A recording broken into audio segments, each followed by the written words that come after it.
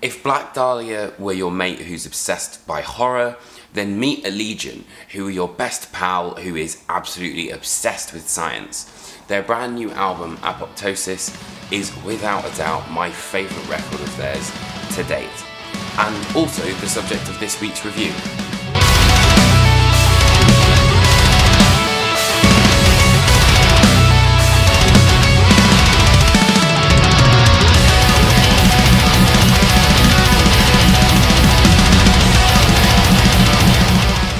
So, Allegaeon have always been an incredibly technically driven band, and Apoptosis is no different to that. But for me, I feel that they've pulled back the reins somewhat and allowed the technical sections to be there, left on their own, but they follow more of a song structure. You know, there's more songwriting, I feel, which is implemented into this album. And on this record, there are moments where the band actually slow down, and they're some of my favourite bits on the album. For example, despite exothermic chemical combustion, i.e., fire, going incredibly fast, there's a section where it kind of goes into this halftime groove and the song is all better for it. Following that, it's Extremophiles A, which follows this more kind of classical, neoclassical route that has always been within Allegaeon's songwriting, but has got these really subtle keys that come in and really gives it that sort of elevated sound. Exothermic is also a fantastic example of just how much a riff can change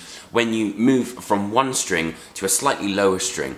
And it really does kind of create that more malevolent of moods, really. Greg did mention that a couple of the songs on the album are through composed in our interview, but that's again, you know, a, a, point of originality is that there's no kind of like, you know, verse, chorus, verse, pre chorus. Like, it's very much interesting to listen to the entire album, and the album flows fantastically. I think it's also worth noting that this is also an album where Allegaeon are really trying to experiment with different styles. For example, there's a serious black metal vibe going on here.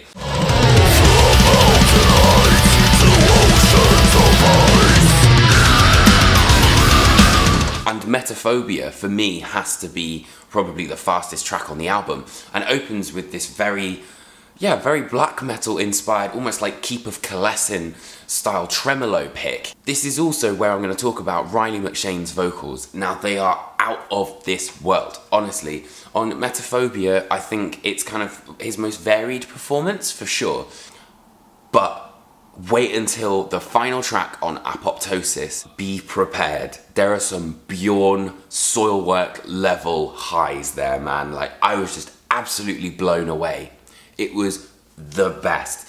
And apoptosis itself is a 10 minute scorcher. You know, it's it kind of ebbs and flows, it's got dynamics, and it really is a smart way of writing a song. And it is a truly epic album closer. And Extremophiles A, for example, has absolutely fantastic songwriting. And although it might have this sort of intergalactic style to it. It's anchored by these melodies, and that is probably the most important element of apoptosis and what has had me coming back to it again and again and again.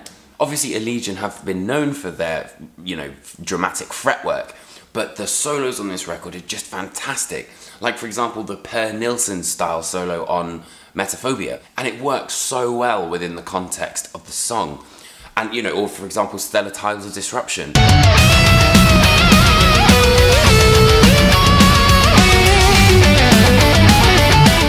Album also works in a somewhat two-part feel, I think.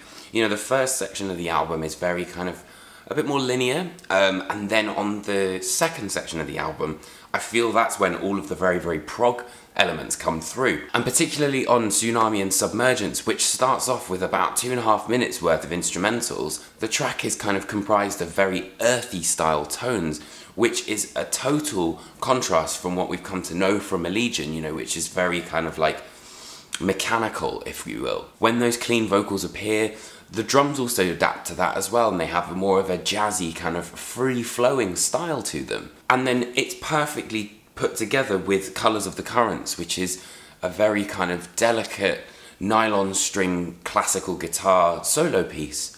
Um, and I think, you know, having those two put together and particularly the way that this track listing is created throughout the album, is one of the reasons why it is such a streamlined and really, really brilliant record. I mean, think of a Guinness. You wouldn't drink a Guinness straight away. You wait for it for a little bit to settle and then you drink it.